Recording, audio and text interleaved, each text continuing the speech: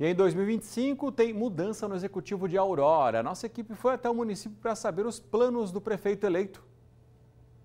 A gente já conversa com Vanderlei Zandonai, o Lila, prefeito eleito aqui do município de Aurora, com um pouco mais de 53% dos votos. Lila, 2025 você assume o executivo, assume a prefeitura e a gente espera, acredita que tem muitas mudanças também e muitas ações iniciais. No teu caso, com o plano de governo em mãos também, quais são as principais ações como prefeito? É, bom dia, com certeza as primeiras, os primeiros passos serão, vamos requerer a nossa pedreira de volta, tá?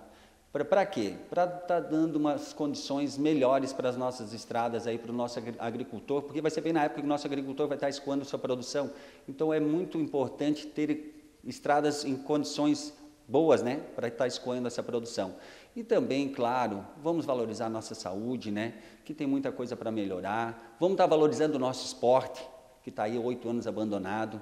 Vamos, ah, vamos valorizar as nossas crianças, tá, com parquezinhos, é, parte de recreação e muito mais.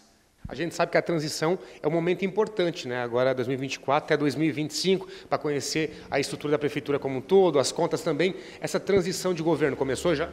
Então, a gente está começando agora a mexer aí, tá? principalmente com a parte burocrática aí, com as contas para ver como é que está e tal. Mas já estamos mexendo sim, estamos mexendo. Aí nos próximos dias já teremos algum, alguns dados em mãos.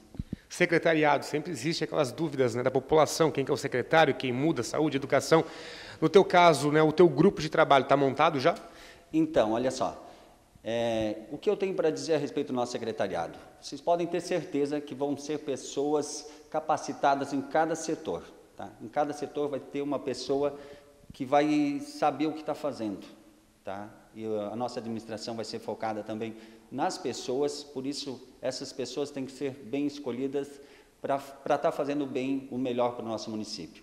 Ô Lila, para encerrar uma avaliação do pleito aqui em Aurora, a gente sabe que sempre é bastante acirrado né, a eleição aqui, né, é histórico isso, e você ganhou com um pouco mais de 53% dos votos. Uma avaliação total do pleito, no dia da festa também, como é que foi para você virar prefeito? Então, é, eu já fui candidato à eleição passada, não deu certo, mas essa a gente estava preparado, tá? entramos para ganhar, tá?